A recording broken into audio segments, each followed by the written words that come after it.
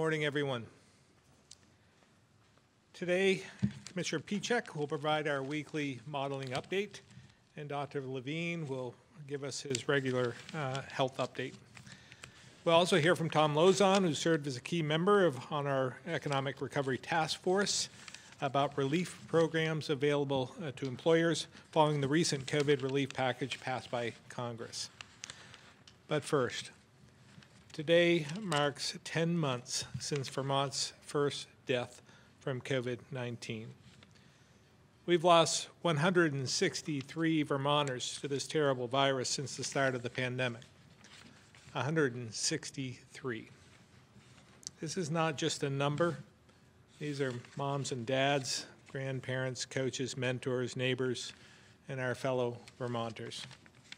In honor of their memories and the loved ones they've left behind, I once again ordered flags to fly at half staff today. We must all remember them, but the best way we can honor them is for each of us to do our part to help save the lives of other innocent victims and those in need. I also wanted you to know this morning I signed into law H48, which gives municipalities greater flexibility for upcoming local elections due to COVID-19. This means they can, if they choose, mail ballots to all registered voters in place of more traditional town meetings or the typical in-person elections used by many cities and towns. As you might remember, we mailed ballots to the, for the uh, general election in November when the virus wasn't as prevalent as it is today. I want to thank the legislature, specifically Speaker Krowinski and Pro Tem Balint for their quick action on this very important bill. And I strongly urge uh, local voters or local officials to take advantage of this and use the mail-in voting for town meeting day and upcoming local elections. At Friday's briefing, uh, we, we discussed the next phase of our vaccine rollout. As a reminder, beginning next week, those over the age of 75 will be able to sign up for an appointment to get vaccinated.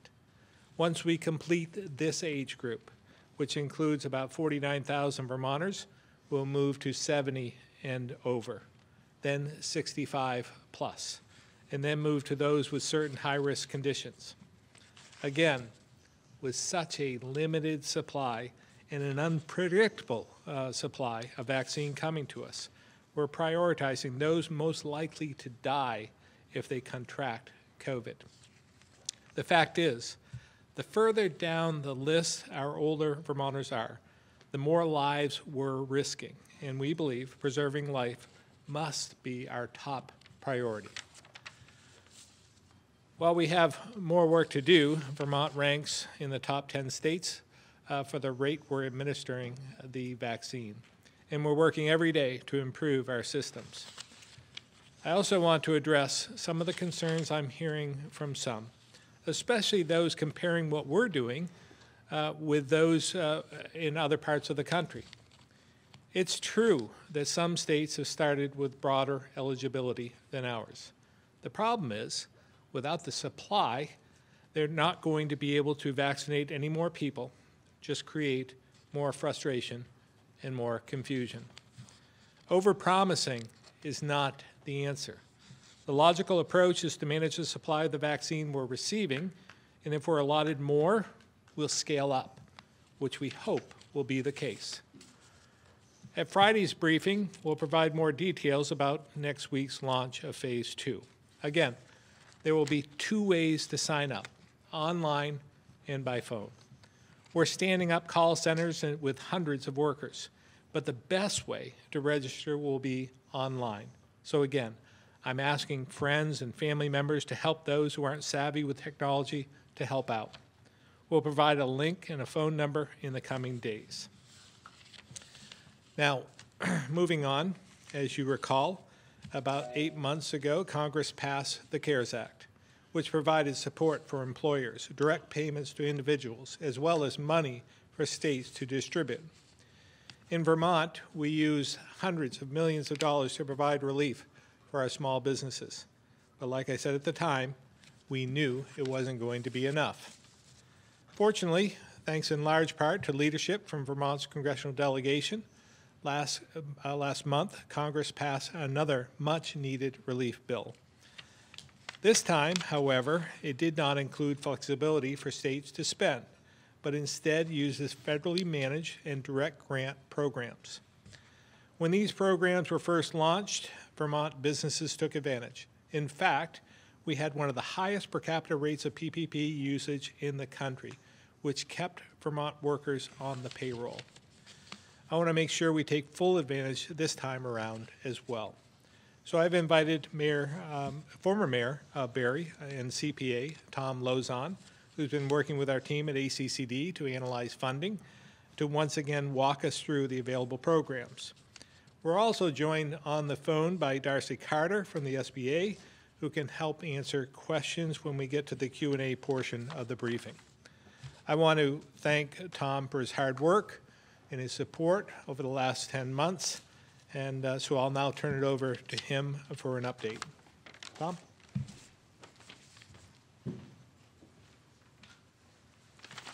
Uh, Thank you, Governor, and uh, thank you for your leadership. Uh, We're going to move very quickly. Uh, We have six topics to cover in a very short period of time, so we're going to be moving very quickly. Uh, Before I begin, I'd just like to let you know that this presentation will be made available through social media and on the AECCD webpage. And in addition, for all of these, I believe all but one of these topics, we have done webinars, and there are more detailed presentations available both on the ACCD webpage, in the references that I'll provide today, and of course on the SBA webpage. So if we could move one more slide, please, Tor. Thank you very much. So the first uh, topic we're going to talk about is the uh, Employee Retention Tax Credit, or ERTC. This was established under the CARES Act, and then it got much better under the Consolidated Appropriations Act of 21. It is a refundable tax credit. It is calculated on payroll and health expenses.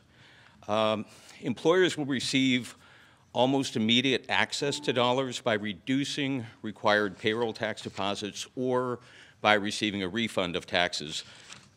The qualifier is a full or partial suspension or a percentage of revenue reduction. And I'm just going to spend a moment talking about um, full or partial suspension. Back in March, when the governor appropriately issued his stay, uh, stay home, stay safe order, you were hard pressed to find a business that wasn't affected on some level. Even grocery stores, who did stay open serving the public, were staying open, but they were at reduced capacity in terms of the folks who could access their business at any given time. Uh, that is a partial suspension. So as we look through the qualifiers, some folks are looking at the percentage qualifier and stopping there. You need to go beyond that because again, here in Vermont, where we've kept things very safe, you're hard pressed to find a business that hasn't been at least partially under some sort of capacity reduction. So please pay attention to that. You can take a PPP loan and get uh, an employee retention credit, an employee, excuse me, employee retention tax credit.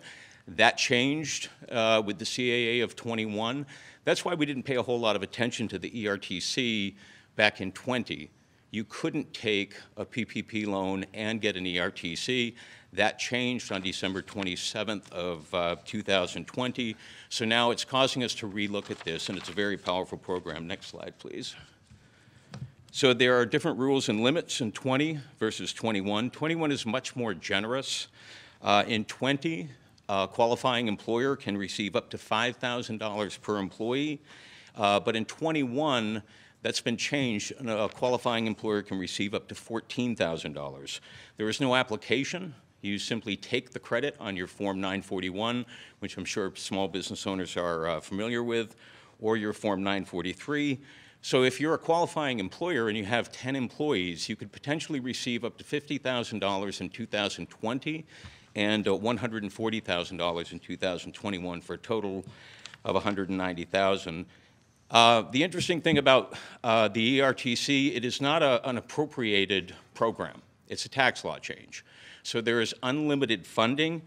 And in addition, because of the three-year statute of limitations, if you discover later on that you qualified for this and you didn't take, you can go back and amend your return. So unlimited funding, and you've got time to take a very thorough look at this.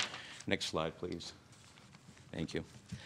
Uh, We're going to talk about the Families First Coronavirus Response Act. Uh, That is also a tax credit to cover the cost of providing employees with required sick leave and family medical leave for reasons related to COVID-19. Again, it's a refundable tax credit. This generally applies to all employers with under 500 employees. It began on April 1st of 20, and it ends on March 31st of 21. Next slide, please. Uh, The employer receives a tax credit based upon required wages paid and employer health insurance coverage. Uh, Credit is taken again on Form 941 or 943. Once again, as with the ERTC, if you were entitled to the credit, but you missed it, you can go back and amend those returns and a refund can be received. I do have to mention, there's no, what we call double dipping on this. You can't use forgiven PPP funds uh, to generate um, either tax credit, either of the two tax credits that I've just spoken about. However, um, one thing that you need to remember is under the PPP program, you get 10 weeks of payroll. You have 24 weeks to spend it. So that leaves 14 weeks of payroll that would qualify for either of these tax credits. So what we're finding is that virtually every employer we've looked at qualifies on some level. So instead of 190,000, excuse me, 190,000, uh, you may get 100,000. It's still going to help your business. Next slide, please. Thank you. Uh, Going to talk about the Payroll Protection Program First Draw, what we call PPP1, or I just call it P1. Uh, Borrowers who were approved for a loan, excuse me, got ahead of myself. Uh, So this program was revived under the CCA of uh, 21. This program is reopened. Generally, P1 eligibility rules remain largely the same. These are forgivable loans. Borrowers may calculate the loan based on, unlike the first round, now you can use 19, you can use 20, or you can use what's called a specific one-year period. I'll just give you a brief explanation. Let's say you apply for a PPP one loan today. Today is the 19th. If you want to, you could use the payroll period 1/20/20 through 1/19/21. Uh, So that is the specific one-year period. Self-employed individuals and partnerships are eligible. I can't tell you how many people, uh, all of us on the team have helped over the past year who thought because they were self-employed, they were not eligible for either payroll protection loan. That's, that's not accurate. They are eligible. They've always been eligible, so take advantage of that. Uh, But eligible, and any, any eligible entity who has not received a first draw PPP loan can apply.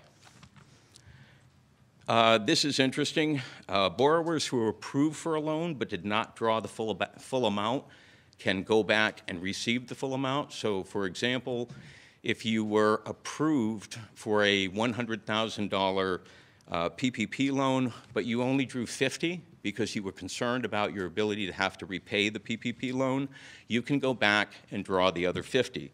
If you canceled the loan, if you got nervous about the program and, and bailed out, uh, or if you repaid the loan out of concern that you weren't going to meet the eligibility requirements, again, you can go back and you can draw the balance. Uh, Unfortunately, if you made a mistake on your first application and you should have been approved uh, for a higher loan, but you didn't get that because you made an error, you cannot correct that first draw loan, but you can take that greater amount on your second draw loan. You apply for uh, a PPP uh, 1 using Form 2483. And lastly, if you receive a P1 loan, you can go back and get a P2 loan. However, you have to expend the, the uh, loan funds under the P1 program first. Uh, There's a link at the bottom of the page here that provides some good guidance. Now we'll talk about the second drop uh, payroll protection program. The eligibility requirements under P2 are slightly narrower. Uh, If you have 300 or fewer employees and a 25% reduction in revenue in any given quarter, and that has to be a calendar quarter, you can't make up your, your own 90-day period, it has to be a calendar quarter, uh, then you qualify. You're comparing 2020 to 2019, and you only need one quarter to qualify. You don't need to be 25% reduced for the entire year. Again, borrowers can calculate the loan amounts on 2019, 20, or a specific one-year period. Um, This is one of the big benefits uh, under P2. Restaurants and hospitality in- uh, businesses with a NAICS code 72 receive a loan amount using a 3.5 uh, times multiplier instead of a 2.5 times multiplier. So they're going to get 40% more than they received under P1. All others use that 2.5 multiplier. The affiliation rules still apply, but they've been waived for NAICS code 72 businesses. So if you're a restaurant, if you're a hotel, you don't need to worry about the affiliation uh, rules. In addition, eligible news organizations with 300 or less employees also apply, uh, also um, are subject to that waiver. If you uh, own or control more than one business and you're not a restaurant or a hotel, please pay attention to the affiliation rules. We've seen, we, we've given you a link to those. We've seen people get tripped up. If you own more than one business, for example, if you own a plumbing company and a property management company, you have to aggregate those companies for purposes of qualifying. In P1, we didn't worry about that too much because the only qualifier in P1 was 500 or less employees, and we found very few businesses in Vermont uh, that had, even in the aggregate, had 500 or more employees. Uh, You cannot receive, a lot of people have asked, can I go right to the P2 program without receiving a P1? You cannot. You have to get your P1 first, then go back in and get your P2. And if you receive a shuttered venue grant, you're not eligible for a payroll protection uh, program loan. You apply for this program using SBA Form 2483 ST, second draw, and the guidance, uh, again, I've got a link at the bottom of the page here, which we will provide to you, to the guidance. Next, I'm going to talk about the Economic Injury Disaster Loan, or the EIDL. This is a uh, long-term direct loan program. It is not forgivable. It is a direct loan made directly with the SBA to meet financial obligations and operating expenses. There's a very broad allowance of use uh, under this program. Generally, businesses with under 500 employees and nonprofits are eligible. Uh, This is important because businesses located in an economically distressed area who experience an economic loss of more than 30% will qualify for an additional targeted, targeted EIDL advance, which is generally $10,000. And we do have a number of those areas here in Vermont. So if you're applying under EIDL, please pay attention because that grant, that targeted grant, is just that. It's a grant, it's not a part of your loan. Uh, The loan amount depends on your need and application. Generally, you'll receive six months' working capital. Borrowers can utilize EIDL and PPP, both one and two. Borrowers cannot use the loan funds under EIDL and the Payroll Protection Program for the same purpose. Uh, Generally, 30-year term, 3.75 for businesses, 2.75 for nonprofits. There is no prepayment penalty, so one of the strategies we've been telling people is if you have any doubt about your future, if you have received a PPP loan, consider the EIDL. If you find yourself with excess capital, you can pay the EIDL back. Payments are deferred one year under this program, and there is a fact sheet at the bottom, uh, link to a fact sheet, and also where you can apply. Uh, Last, we're going to talk about the Shuttered Venue Operators Grant, or the SVO. This was established under the CAA of 21, $15 billion to eligible applicants who may qualify for SVO grants equal to 45% of their gross earned revenue. There's a maximum award of $10 million. Uh, I like this part of it. There's $2 billion reserved, and that's not limited, just reserved, so there could be more, for eligible applicants with less than 50 employees. So they thought in this program to take, uh, take care of our smaller businesses. Um, Eligible entities include, I'm not going to go through the entire list, uh, but live venue operators or promoters. We have a number of those in Vermont who are particularly hard hit, and uh, motion theater, uh, motion theater operators, uh, as well as talent representatives. So if you're someone who makes a living here in Vermont booking acts, you may want to look into this program. Again, under the SVO, there's a broad allowed use of grant funds. The qualifying applicants with 50 or less employees will be given priority. And then when they prioritize those smaller businesses, they're going to further prioritize the businesses by providing uh, economic benefit to, to those who have suffered the greatest loss first. So if you're uh, 90% or greater revenue loss, you'll be in the first round, 70% you'll be in the second round, and then so on. Uh, This program is not yet live. We're waiting for the details of it, but again, I've provided you with a, um, with a link down at the bottom here. So I, I realize, you know, I, I- will apologize. That, that was uh, a lot of information thrown at you very, very quickly. If you go to the ACCD webpage uh, or the SBA webpage, there is additional information as well as in the uh, links that I provided here today. Um, You know, as the governor said, we were given one charge when he formed uh, the Economic uh, Recovery Task Force. The governor explained that we needed to touch every business in every corner of Vermont and give them the opportunity to get as much relief as they can. That's exactly what we're going to do. Uh, Next up, I believe, is Commissioner Pieciak.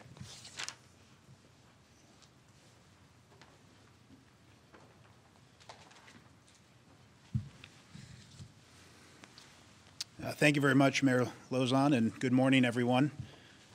Just uh, one week ago, we reported that the pandemic had been at its worst. Cases, hospitalizations, and deaths were all at all-time highs, and those same worsening trends were experienced in the region and here in Vermont. This week, however, the data provides a much more optimistic outlook for our country, for our region, and for our state suggesting even that the U.S. may have surpassed its third peak. But we must be mindful. As the virus has taught us over the last 10 months, things can change quickly, both for the better and for the worst, and new challenges are always emerging. For seven straight days, the national seven day case rate has declined, representing an 18% decrease in new cases this week.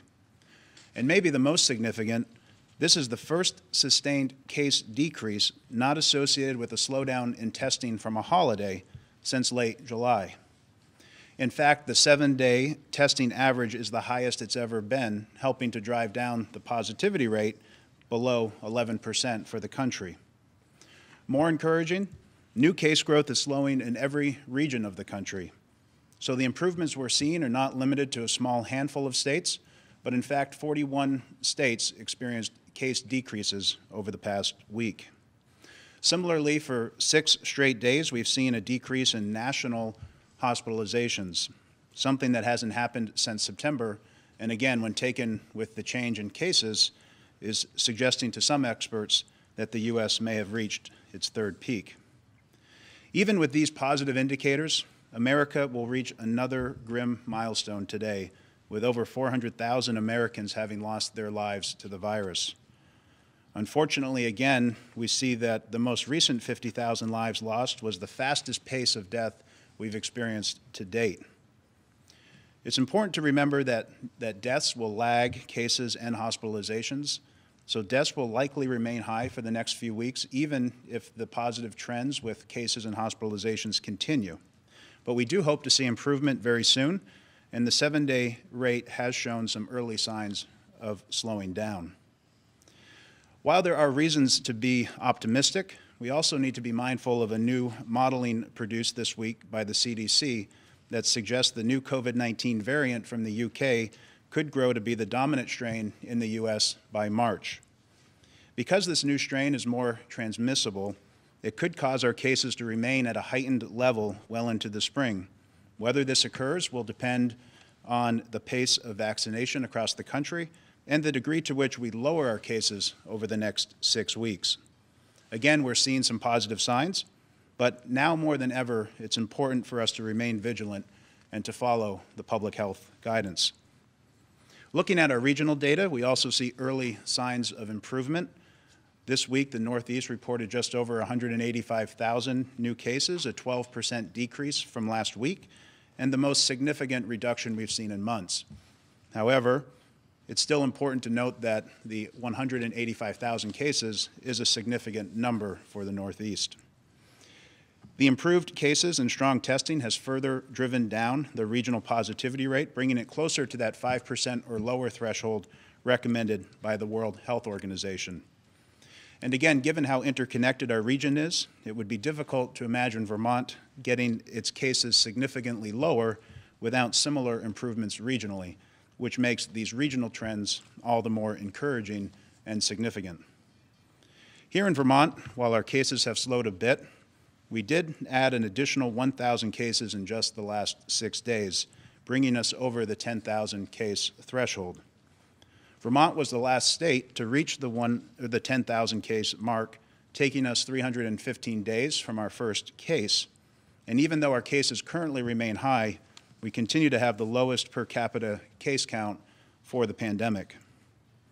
This week, we also recorded 1,129 new cases in Vermont, a reduction from last week, but just as we noted with the regional data, still a significantly high number of new cases. Further, you can see that there were more cases among individuals who were 65 years or older compared to last week. This is something we'll continue to monitor closely uh, as we go forward, since, as we all know, a significant number, in fact, 92% of our deaths and 62% of our hospitalizations occur in that population that's 65 or older. We expect to see cases decrease among this population over time as more and more people age 65 and older are vaccinated, so we'll continue to watch this closely. Following the rise in cases after the holidays, we can now see that our seven-day case average has slowed and has started to decrease, suggesting that the holiday impact we did see is not continuing to fuel new cases. Again, a very positive early sign. Turning now to our Vermont forecast for the next six weeks, we can see that cases are expected to remain elevated into February before improving. However, due to our most recent case data, we do certainly have reason to believe that we will stay below this forecast over the weeks ahead. But cases are likely to remain high, and again, we must remain cautious about this new COVID-19 variant. Our hospital projections continue to indicate that Vermont will have enough resources to treat those who need care, even if the increased case counts uh, remain elevated over the next six weeks. And again, the simple steps we've taken to protect ourselves to date continue to work, and should, we should all redouble our efforts to follow the public health guidance to keep our case counts as low as possible. Although our case counts remain much higher than they did in the summer and in the fall, we must remember that the entire country, including our region, had a very similar experience. Vermont is, of course, not an island, and when cases rise significantly around us, eventually we're going to see those impacts. However, by following the guidance and making so many sacrifices, Vermonters continue to make major impacts in fighting the virus. Measured against key metrics, Vermont continues to be at the top or near the top, and we continue to be there consistently week after week. Finally, regarding the pace of vaccine administration across the country, the most recent data from the CDC ranks Vermont second in the Northeast, uh, fourth within our travel region, and seventh nationally in vaccine administration. And at this time, I'll um, turn it over to Dr. Levine.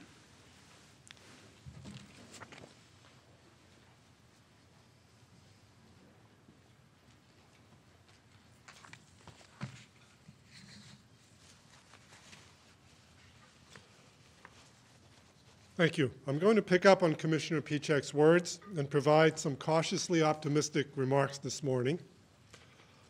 Knowing how reluctant I am to use just the weekend or holiday data to fully predict the future, I do have the following to report. Over the past four days, case counts have trended downward from 180 to 140 to 123 to 102, and testing did not seem to suffer over the holiday weekend. This makes our percent positivity rate 2.6%, which I truly believe is reflective of reality.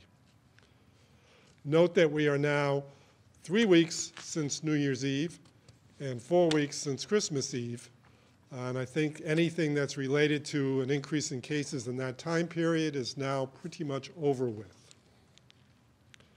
I particularly take solace in there having been no additional deaths reported during this time period, keeping our count at 163. We do continue to see cases in long-term care facilities, but overall, the trend continues to be reflecting a slower rate of growth there. This is, however, too early to be explained yet by vaccination efforts in those facilities. Likewise, uh, consonant with some of the slides you just saw, hospitalizations do not seem to be further increasing, and they may have plateaued here, although there are still 40 individuals in the hospital today and five in the ICU. I note that our EPI teams are still quite active and occupied following 48 outbreaks and 460 situations, the vast majority of which are in long-term care facilities, healthcare, and workplaces. As the governor said, our vaccination plans are strong and optimistic, needing to be matched only by the federal government's ability to allocate vaccine.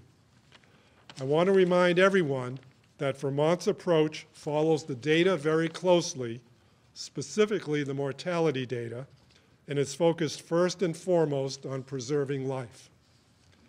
After the three older age brackets receive their vaccine, our approach is to protect people ages 18 through 64 who have the serious conditions that put them at increased risk of severe illness from the virus. I and others have received many questions regarding medical conditions not on the list that I read to you last Friday, and with concern for their own particular condition or that of a loved one. As I said before, a key driver of what conditions to include depends on whether the condition means greater risk for serious illness if one gets the virus. Please understand that many conditions are just too uncommon for there to be adequate data at this time, or that there is data for more common conditions like asthma that only suggest people might be at increased risk. Hence, such conditions do not appear on the CDC or the Vermont Advisory Panel lists. If you do have a concern about a specific condition or your eligibility, please discuss this with your physician. We wish there was enough vaccine today to give everyone, regardless of age or condition, but as things stand, uncertainty about the allocations coming to Vermont means there's no real opportunity to change our approach currently. The age prioritization approach to saving lives is indeed our North Star. It is data-driven and simple, and the larger approach real, really should reduce the tendency towards divisiveness when a resource like vaccine is so scarce. Rest assured, everyone will be informed when, where, and how they will get vaccinated. Please help us do this by not calling or sending emails until we provide all the details. With that in mind, it's a good moment to reflect on how very fortunate we are to even have a vaccine this soon. Normally, it can take three to eight years, years for an effective vaccine to a new virus to be developed. The Pfizer and Moderna immunizations took only about 10 months and are already being provided around the world. We know how terrible it is to not have the ability to prevent diseases, so this accomplishment is really unprecedented. So as you wait for your turn and we get the systems up and going, please reflect on this accomplishment, and I thank you for your patience. Finally, allow me to express some optimism regarding the new variant or variants. There's no question that the B117 UK variant is in the US, and there is little question it will be present at some time in Vermont if it is not already here. And CDC believes it may take over as the dominant strain by March. so why am I optimistic? First, it does not appear the virus seems to cause more illness or more severe illness. But since it is more transmissible, it will spread faster, causing more people to be ill, which means more people may end up in the hospital. The preliminary data I reported a week ago has not been added to, nor, to my knowledge, refuted, and scientists still believe that the current vaccines will be effective against the UK variant. What I would like Vermonters to understand, though, is that though we are just at the very beginning of our vaccination efforts, we must remain committed to following all the usual guidance regarding masking, distancing, and avoidance of indoor crowded settings, even while we ramp up the vaccine efforts from now until at least the summer. This is the coming down the stretch part of our race with the virus and its new variants, and we must redouble our efforts, stay focused, and not let our guard down.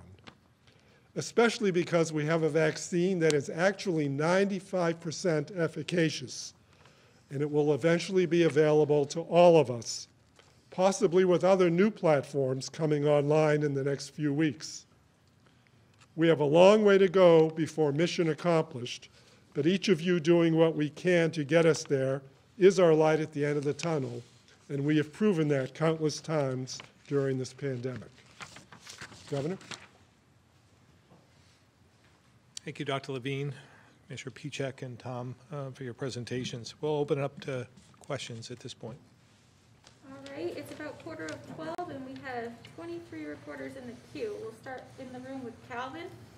Um, Thank you, Governor. So maybe a question for Dr. Levine off the bat, so, and maybe Secretary Smith too, if he's on the phone. I'm wondering um, what our vaccine allocation was for this past week, and then also you may have seen Governor Cuomo is um, appealing directly to the pharmaceutical companies to try to, um, you know, purchase vaccine. I'm wondering if Vermont would potentially look at taking a similar approach.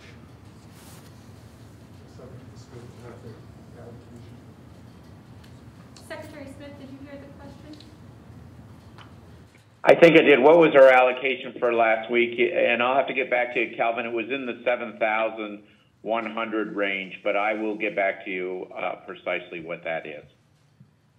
In, in terms of um, lobbying the pharmaceuticals, um, we will do everything we can. I think our conduit is through the federal government, uh, and their conduit is to the pharmaceuticals. Um, So I think what our approach is, we've, we've made our case known. Uh, I believe the uh, president-elect is well aware uh, of the supply chain needed uh, for us to get uh, to where we all want to get uh, quicker, and that's more production. So he has advocated for this. I believe that he will probably come out with some sort of statement. I, I believe uh, 100 million um, by in the first 100 days, but I don't know what that means. To be honest with you, I'm not sure if that's 100 million more doses or 100 million total. Uh, so everyone is on the same page, and we need more vaccine in order to vaccinate more people. And it's as simple as that. Right now, our hands are tied, and, uh, and, and again, uh, the federal government has much more power over uh, this production and the pharmaceuticals than any individual state does. And, um, Governor, a side topic too. Um, You may have seen uh, Treasurer Pearce um, on Friday. She is recommending that the um, state make cuts to teacher and state employee um, pensions, um, you know, to keep the um, retirement fund uh, solvent.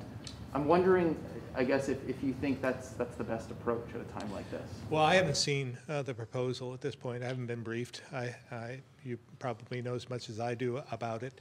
Uh, But I do think it's a step in the right direction to at least have the conversation. Uh, We have a, an unfunded liability of about $4 billion. Uh, That grows, like this year alone, that's another $100 million that we don't have to, to to pay for it. Uh, So it's unsustainable. Uh, So we're going to have to have the conversation. I've said this for a while. Uh, It's not something that I can advocate for. I believe the, the treasurer and the legislature have to be involved, but I'm a willing partner. Um, So the conversation has to be had. Did you want to add anything to the other vaccine, or is there anything more? You know, it's not like when PPE in March, we could actually try to buy Right. from the manufacturer, this is much Yeah, I think what the- Dr. Levine was saying is, this is much different, eh, you know, with- than PPE was back uh, about 10 months ago, when all the states were almost competing against each other uh, because we were going right to the manufacturers. This isn't the case. Uh, Everything goes through uh, the federal government, so uh, it's not going to help us to go directly to the, to the pharmaceuticals.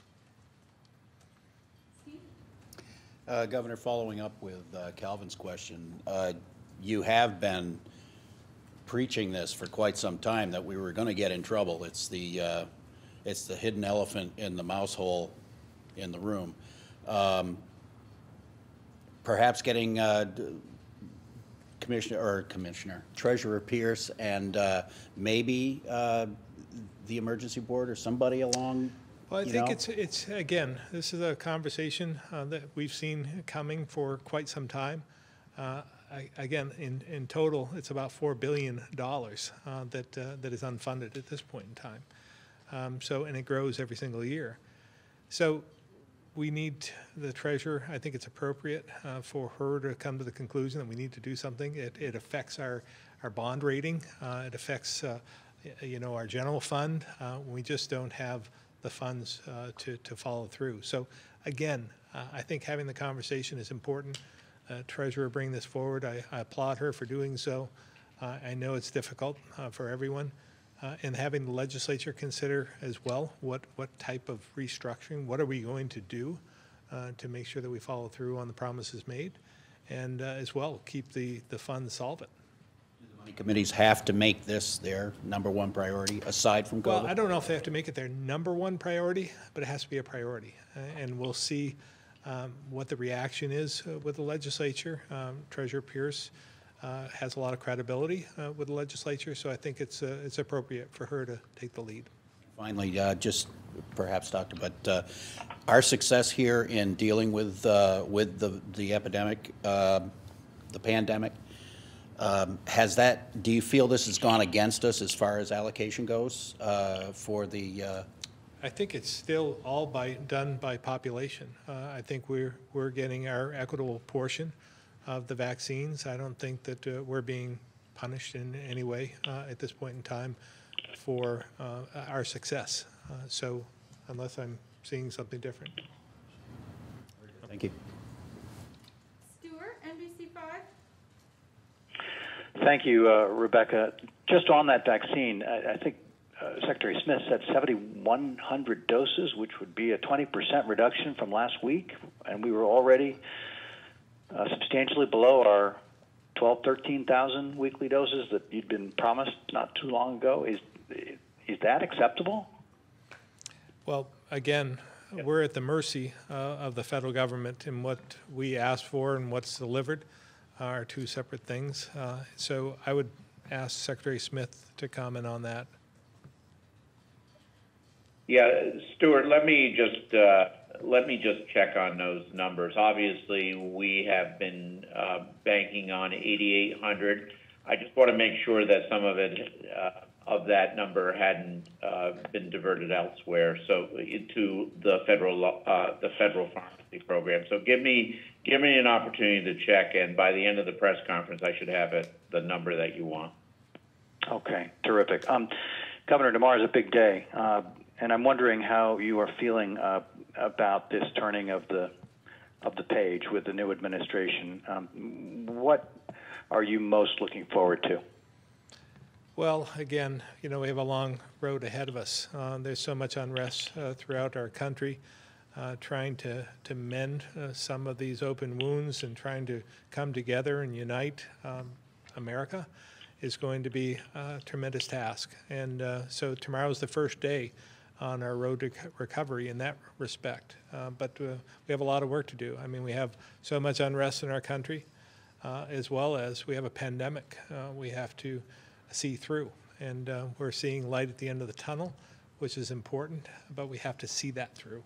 Uh, And then simultaneous to that, everything else we need to do to recover from this, whether it's economic recovery uh, or or whether it's just a recovery from a, from the health aspect of the pandemic itself. So again, a a very, very steep climb uh, ahead of us, Uh, but, um, but we'll see. And, uh, and I look forward to uh, the new uh, president being sworn in, and as well as the Congress, and how we can work together to, to get to our common, common goals.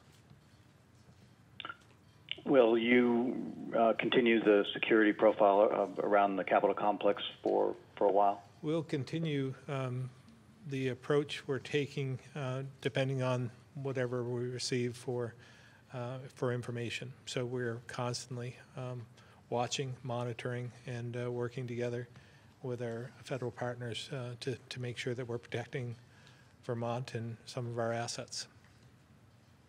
You remain concerned, I'm always concerned, yeah. I mean, it's, um, but, I- but I'm- anything specific? uh, nothing specific that I can talk about, no. All right, thank you. Eric, the Times Argus. Yes, thank you. Uh, Governor, have you had any conversations with the incoming administration, given that they're taking over tomorrow? Is, does this give you any more confidence in vaccine allotments? Yeah, no one-on-one uh, conversations. Uh, Obviously, I've been involved with the National Governors Association. We've had uh, numerous uh, um, t- uh, teleconferences with them and, uh, and t- talking about our concerns and, and hopefully what's going to happen in the future. But, but no one-on-one conversations. But, you know, our health department is in constant contact with the CDC and the FDA and others, and as well as our regional partners. Uh, I know uh, Commissioner uh, uh, Levine is, uh, is in constant contact with them as well. So we're, we're trying to, to work together in any way we can to try and advocate for more of a supply. And hopefully, uh, if there's a new, you know, we talk about some of the new uh, entities uh, that uh, might get approval, whether it's Johnson Johnson or, uh, or AstraZeneca, uh, and if they come online, that will bolster and hopefully increase the supply of vaccine to the states. Do you expect things to run smoothly, or is this uh, clearing up some of the issues that you've been facing with these, these allotments? Yeah, it really, uh, very difficult to, to say. Um, I'm, um, I'm hopeful, um, but, um, but I wouldn't say confident, uh, because, you know, we've been struggling through this. Uh, There's been a lot of miscommunication along the way. Uh, Hopefully, the communication will be better, so at least we know what's happening, uh, so that we can plan for the future. That's been part of the problem, is uh, difficult to put together a plan for anything without knowing what the, uh, what the supply is going to be. So that's, that remains to be seen, but, but they've been receptive uh, thus far, and, and at least hearing from us. Okay, thank you. Anne Galloway, VTDigger. Hi.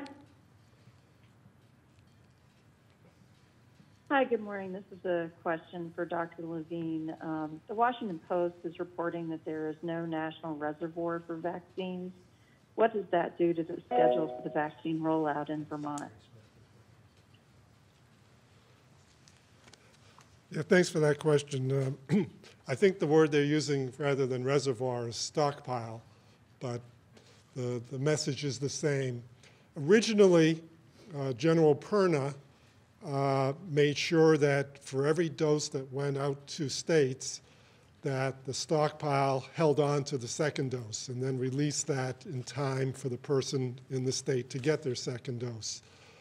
They seem to have um, changed that policy now and basically sent everything out of the stockpile and chose not to replenish it uh, and indicated that now somehow second doses are going to be arriving at the state um, with the first doses. But it's very unclear exactly what that means.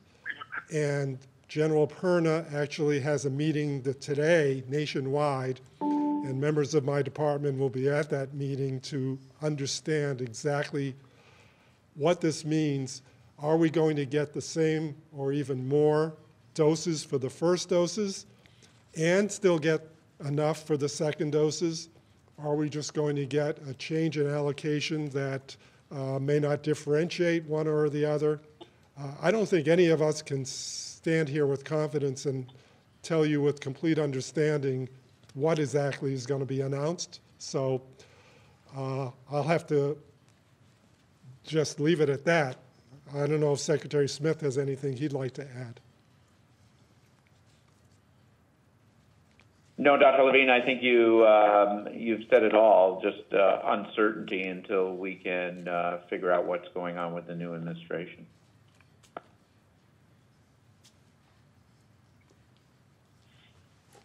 All set, Anne? Uh, yeah, I actually, I'm sorry, I'm sorry, I had one more thing I wanted to ask. Um, what are you doing to ensure the vaccine sign-up webpage is easy to use and doesn't crash like the DOL site did? We received a complaint about the testing sign-up portal of the DOH website from an older Vermonter who said he had to scroll through 928 months to get to his birthday, which happened to be in October 1943. Um, you know, these kinds of problems he believes could create a quote bottleneck that will slow, congest, and crash the system unquote. What would you tell that Vermonter about the vaccine sign-up system online that you're going to be rolling out? Do you want me to take that, Governor? Sure. And I think the, the one thing to tell the Vermonter is that we have had some experience with the platform that we're basing the vaccine sign-up uh, program off from. The online program is basically taken, the base of it is taken from the testing program. And we do, last week, our seven-week average was about 47,000 tests that we did. Now, not all of those are off the website, but a lot of them are.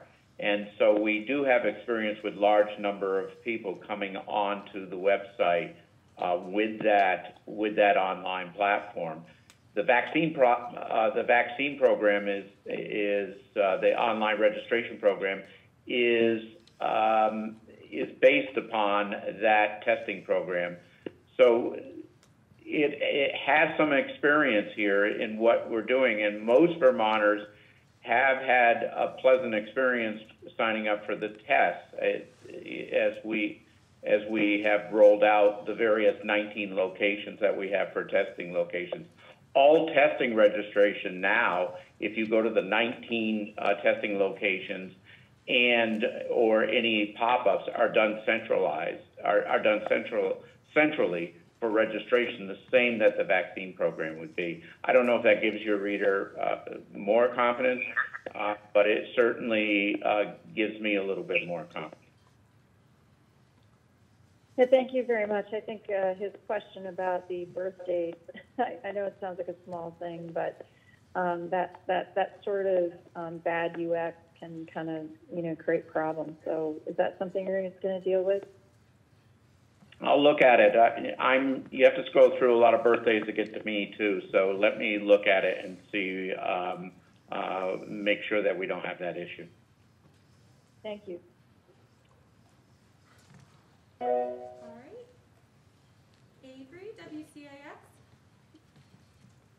My question is for Dr. Levine. We've heard from a couple of viewers who are in the um, on the list with health conditions that would put them at greater risk of COVID-19 and would be eligible once the once the vaccine is available for them.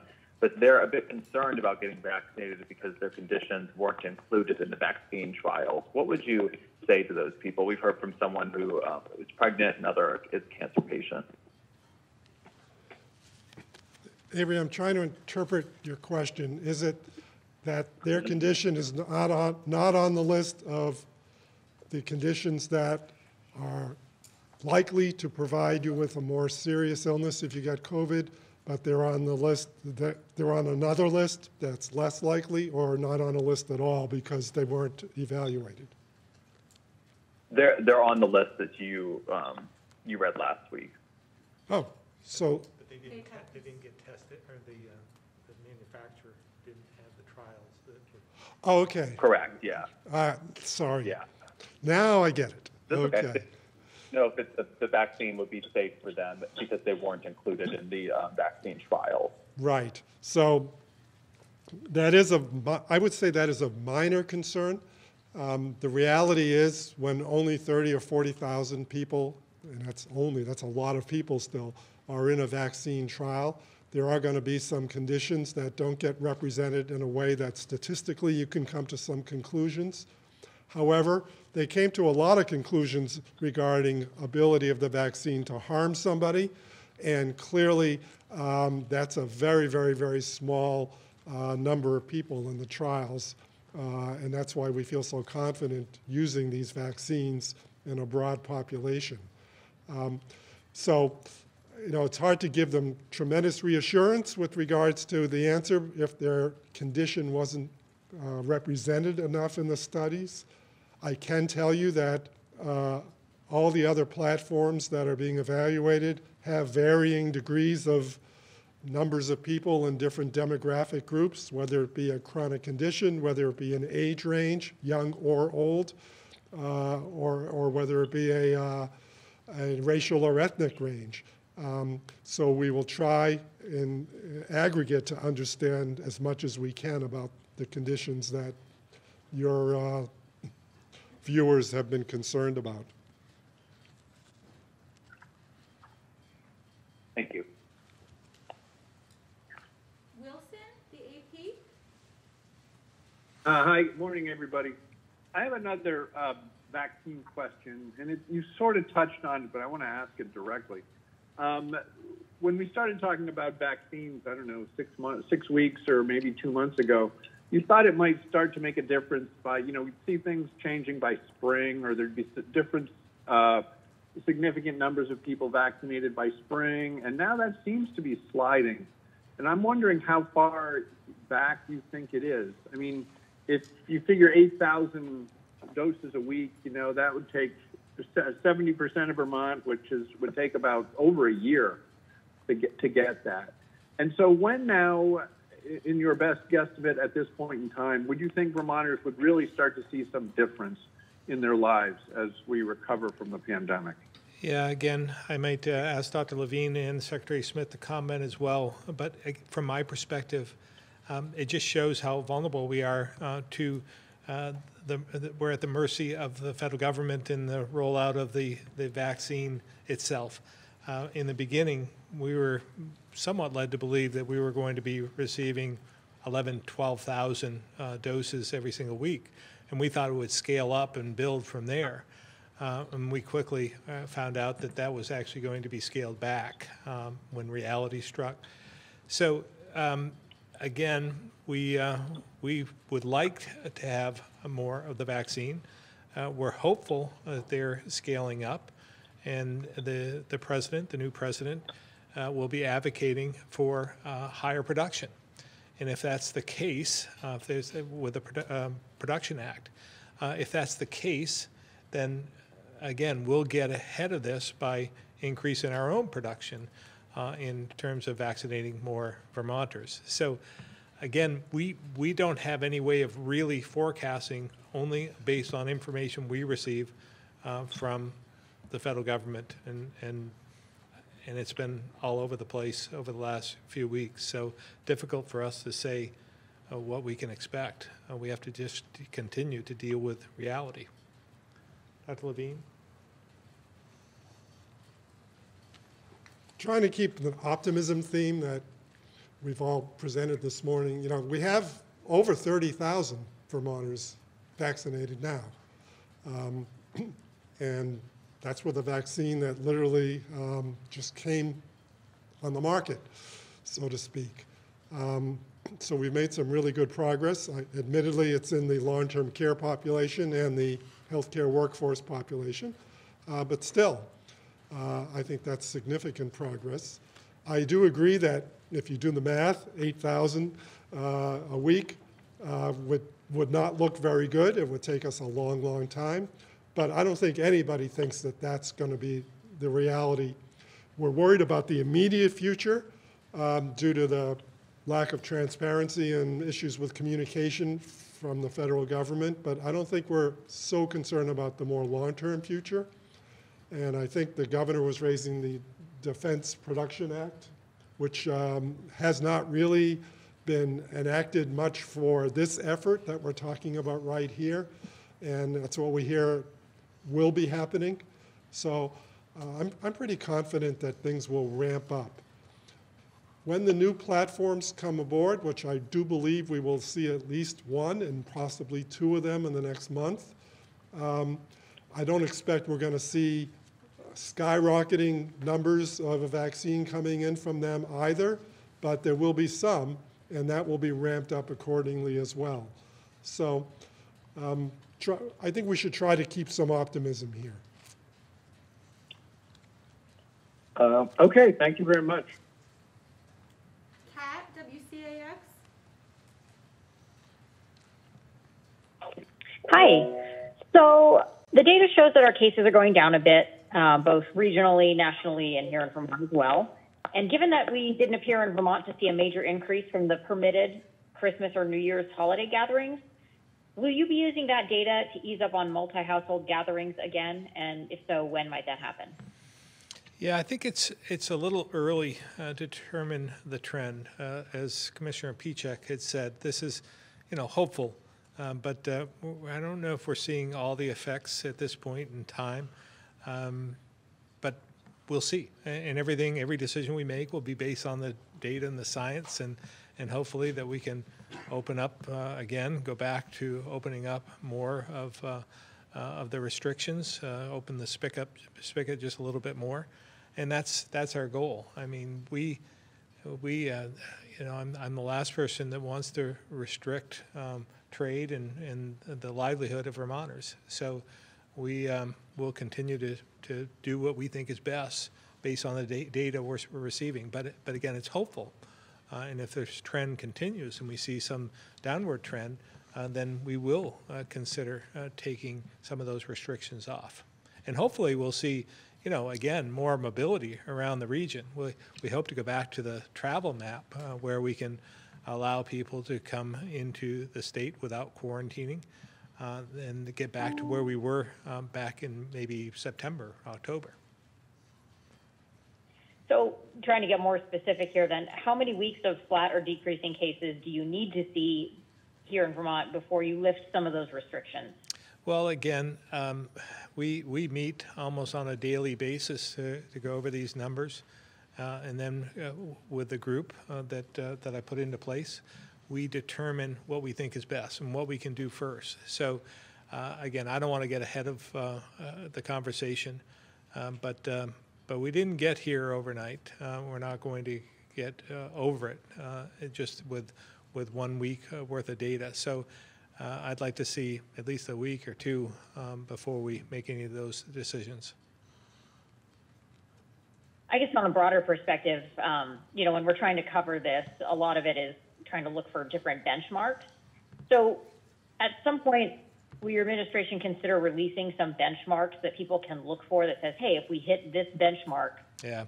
I- we'll I'm- do X, Y, Z in our I- economy? I am very hesitant to overpromising. Once you set a be- benchmark, uh, it's like it's gospel, and everyone expects you to do that regardless of what's happening with the data. So I'm very hesitant, have been since day one. Uh, So we'll continue to, to monitor the data and make the decisions uh, based on what we think is right rather than the benchmark that was uh, put into place.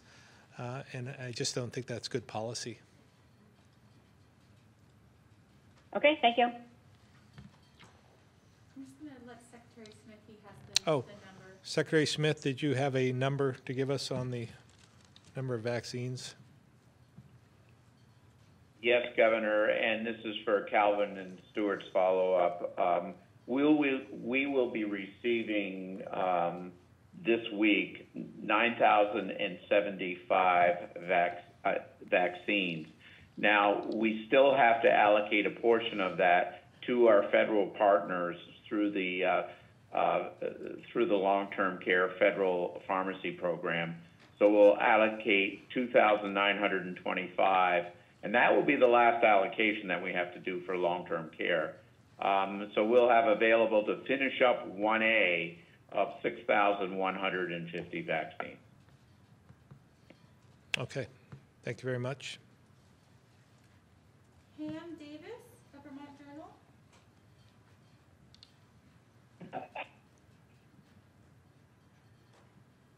Can you hear me? We can. Thank you. Um, uh, the, we've had a lot of discussion about um, the availability of vaccines, and that's obviously the most important issue. But I've been struck just in talking to people in the last couple of weeks that there's tremendous uncertainty about what it actually means to have the vaccine. the, uh, uh, and what, there was a piece in New York, some information in the New York Times yesterday to the effect that the number of people, that the, the number of people who have been already vaccinated um, and who have still gotten, um, still gotten a serious case of COVID is one out of 37,000. That's a percentage of something like two thousandths of 1%. My question is this. Um, there's a question now about whether people are willing to take the vaccine. So obviously, lots of people want it. If you give me mine, I'm take, I'll take it within the next hour. But the reality is, it's a lot of some a surprising number of people are not going to take the vaccine right away. And one of the questions is that's been raised nationally is whether um, states are underselling the vaccine. So my question is, is, is to Dr. Levine. Are you worried about that? And let me put it in the form of a specific uh, question. Let's assume that there's six people who have good friends and have and normally spend a lot of time together, and all six have been vaccinated. Once they've been vaccinated, okay, and they you wait a couple of weeks to make sure that your nose doesn't fall off. Can those should those that people then have dinner together if they've all been vaccinated? Yes or no? Um, I, I am going to let Dr. Levine answer that directly, but uh, again, from my perspective, uh, we need to again provide um, confidence in what we're what we're doing uh, and trying to be transparent and and make sure that everyone understands uh, what uh, have the confidence in the product that we're we're um, um, pushing for. So again, from my perspective, uh, that'll come over time. Uh, not everybody is as confident as others, uh, and so we'll uh, we'll continue. Uh, we don't have we have a limited supply as it is, uh, so at this point, going in the in the manner that we're going allows people to watch and see, but it doesn't close them off. So if they decide once we get through an age band, let's say 75 and over uh, will go to the next, which is 70 and over. But that would also uh, allow those that, that were in the first band, 75 and over, um, and, and had decided not to uh, take the, have the vaccine, uh, that they could at that point. So we're not closing off any sector. So it gives time, gives uh, people the opportunity to see for themselves that it's safe and effective, and then uh, and then choose to get back into the queue, so to speak uh, because they never get out of it. I, understand that, Governor, but the question, my question is a different is a different question, and that is the question of what what the what how will people's lives change, specific, not in in some kind of um, way to just protect the public, but about their own lives once you have been vaccinated. I understand that a lot of people haven't been vaccinated, but once you have, then how does your life change specifically? How much confidence do you have in it once you've been once you've been vaccinated? Are you protected? And so if you've got six people who want to spend time together, they've all been vaccinated. I understand uh, that, that maybe not, but if they are, then what can they do that's different from now? Yeah, that, that's the question the governor's allowing me to answer for you, Pam. so let's start here. Um, this vaccine has 95% efficacy. efficacy means that in the clinical trial, under ideal circumstances, um, it had that level of benefit uh, in terms of prevention of illness associated with COVID. And it did even better, I believe, with prevention of severe illness. We don't know that that translates into its effectiveness when we apply that on a population-wide basis outside of a trial, but boy, it would have to drop really significantly to make a difference when you're starting at 95%. We also know, both from the studies and now from our limited Vermont experience, that safety is really good. Uh, we've had 23 adverse effects um, incidences uh, reported in the uh, electronic reporting system, and the majority of those are not what you would call severe end of the spectrum. Um, we don't have good data yet to understand how the uptake has been in certain populations, uh, but we're going to be getting that data. So people who've gotten vaccinated generally stand a really good chance of having the vaccine do good things for them. We don't know as much about their ability to transmit the virus from their nose, and we've talked about that before. But, you know, talking to some vaccineologists and, and virologists, it'd be pretty unusual to have a vaccine that works this well that wouldn't also prevent you from being able to transmit it to others. So the work is ongoing in that, and we need to get the final results, but we should really look optimistically at how it will behave in that regard. So you give it to your six friends, and you all want to kind of get together and have dinner. Um, after the second dose, I would hope, and after giving another seven to 10 days after the second dose, just to make sure that everybody has got a decent level of immune response. Um, part of this question involves how much of the population has also taken up the vaccine, and are we getting closer to that herd immunity standpoint? Because when we get there, either through natural infection, in combination with vaccine, people can actually, that's what we expect. People can go back to those lives that they lived before uh, and not have to uh, do as much with the masking and distancing and all of that. So I, I can't promise people would be able to do that in February um, because there'll just be still a lot too much, way too much virus prevalent in our communities. But over time, uh, as more and more people are getting um, vaccinated, they should be able to do that. Uh, so I think it would have a profound impact on people's lives and their ability to feel comfortable doing all the things they used to do. But the timing of that is really the, the question. And certainly February, March is way too soon. Sometime in the mid later spring, uh, depending on how much vaccine is out there uh, and how much has been uh, accepted by the population, uh, that might be more realistic. Certainly the summertime. Uh, th- Thank you very much for that. I think that's really helpful. I, I interpret that, I interpret what you're saying to mean that you, there's really two, two, two lines in the sand, so to speak. One is, one is when there's real herd immunity, there just isn't much of it around, and then people are going to go right back, going to go the back then to the way where they were before. But there's another line out there that uh, that might precede that, okay? But that's a judgment that you have not yet made, and you're you're suggesting that it probably wouldn't be till late spring. Have I understood that? Yes.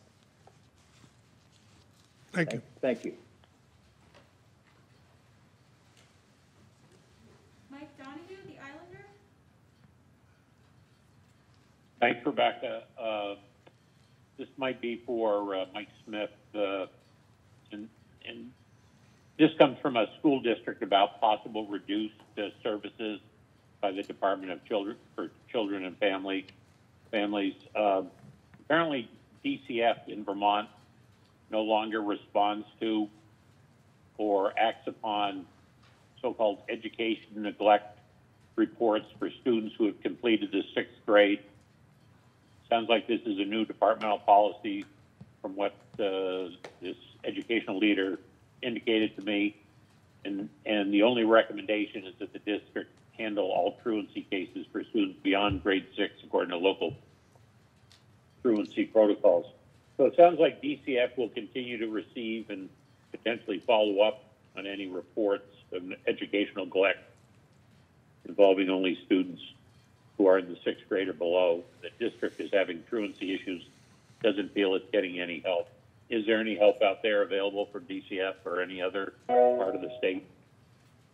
Mike, let me follow up on that. I have not heard of that instance that you're talking about, but let me follow up on that. I will get the, the, I haven't heard of a change in policy and I haven't heard of, uh, uh, this particular instance. I'd like to, uh, uh, reach out to you after the press conference, get the name of this, uh, this place and, uh, and follow up if I could.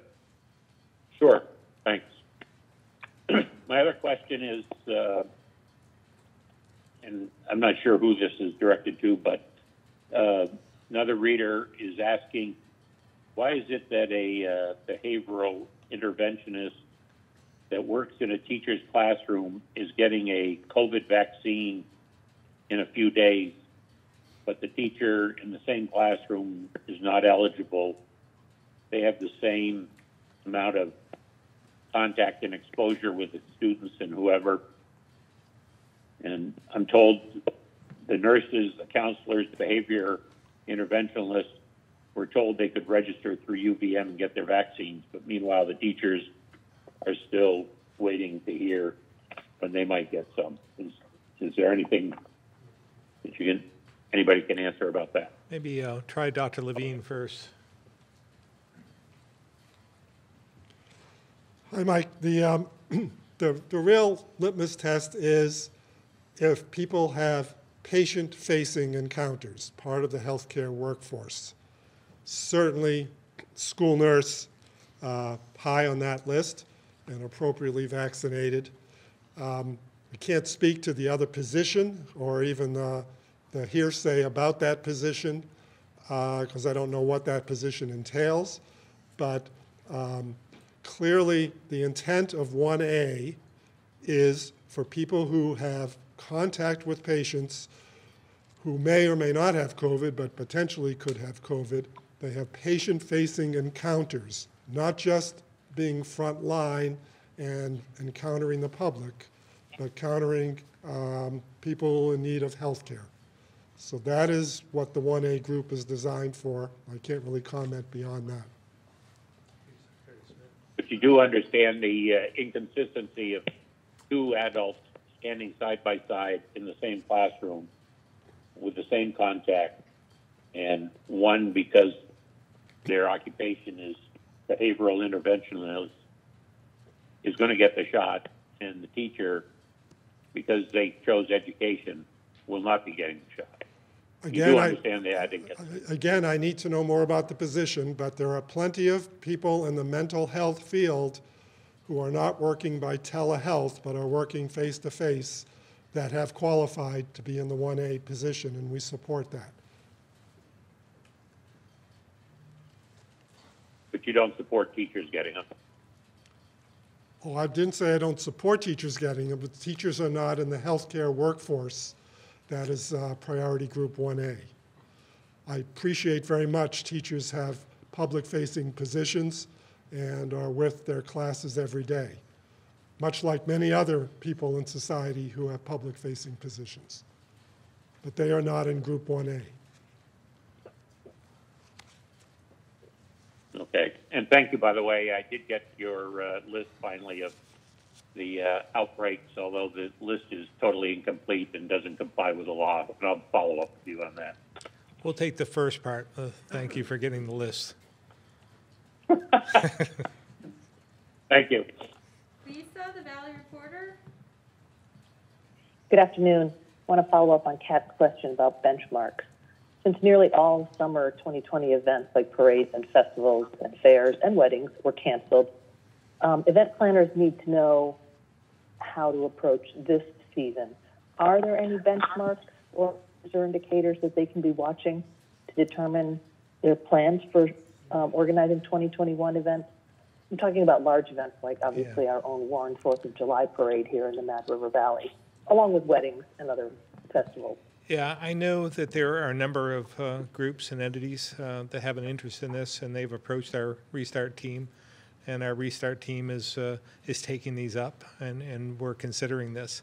Um, but at this point in time, as I said, uh, we are. I'm hesitant uh, to create a benchmark uh, that we can't fulfill. I'd have to have a lot of confidence in where we're going and what we've done in order to set that benchmark. But, uh, but they are going to be considered, and I, and I am very sensitive of the time element and, and the amount of lead time uh, that many people need for these uh, specific events. Thank you. And I have a follow-up question for Secretary Smith on the issue of second homeowners sheltering in Vermont and receiving the COVID vaccine.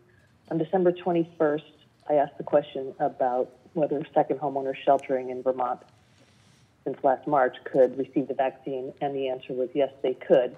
And the Vermont Department of Health website reflected that position as late as January 7th. Last Friday, you said those people could not get a vaccine here. What has changed and why? And do you, do you know how many people that might affect? How many doses of the vaccine we're talking about? What's, what's changed is we made a, we made a decision that um, Vermont residents would get the vaccine first. Um, given the limited supply we had of vaccine, we thought that it was prudent to have Vermont residents receive the vaccine first.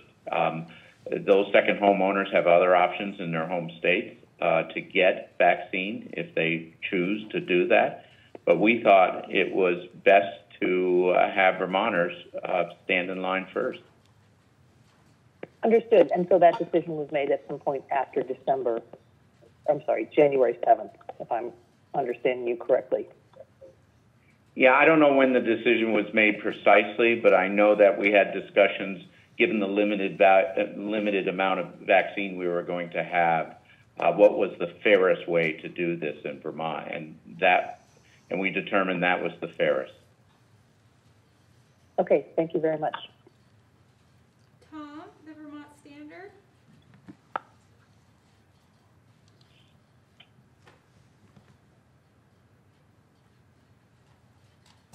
Uh, Good afternoon, good afternoon, everyone. Uh, uh, Governor, you just addressed um, uh, through Lisa Loomis's question, uh, one of the two questions I had regarding benchmarking and long-range planning for hospitality events. But um, I do have another question, and here it is. It's heartening to see the plateauing and declining number of new cases over the last two weeks, but I I do have some concern about border counties. Uh, Windsor County has seen a 37 plus percent increase in new cases uh, over the last two weeks as compared to over the course of the full pandemic. And that compares to only a 15 percent uh, increase in, in neighboring Orange County, more in the interior of the state. Um, 25 new cases in Springfield last week, 18 in Hartford. My question is, um, do you do you think that uh, border communities uh, with a higher level of cross-border traffic for, for essential services and work, and potentially those with a higher number of tourist attractions and ski areas, uh, are are seeing a statistically higher uh, bump in new cases? Um, again, we'll let the data speak for itself, but uh, we are um, watching, you know, the region. Uh, when we see, I think uh, Commissioner Pieciak had shown uh, New Hampshire in particular, I think they had another 1,000 cases yesterday, uh, which is uh, an incredible uh, amount, almost, I- I- almost, you know, maybe not 10 times, but um, seven or eight times what our rate is. Um, so it does have an effect on us from the very beginning when we when we talked about the, the region. We were doing well in Vermont, um, but we're not an island. Um, we uh, can be affected by uh, New York and New Hampshire and Massachusetts and so forth. At that time, New Hampshire was doing very well, as was Maine. Um, but things have changed, and uh, so you know that's why we we look at uh, the regional mapping um, That's why we uh, developed the travel map in itself, so that we knew when areas were, were safe, uh, that we would allow them to come in without quarantining. I'm hoping we can get back to that, and I'm hoping uh, that New Hampshire uh, can get their arms wrapped around uh, their issue, uh, as well as in, uh, in Maine. But I, we're seeing their numbers, at least in Maine, uh, they're coming down. I'm not sure about New Hampshire, but again, I, I watch their data uh, every day, and, and theirs have, you know, pla- plateaued at a high rate. Uh, and, and just to remind everyone, you know, we uh, we think, um, I mean, we're plateauing, which is great uh, for us here uh, around the uh, 120 uh, maybe range.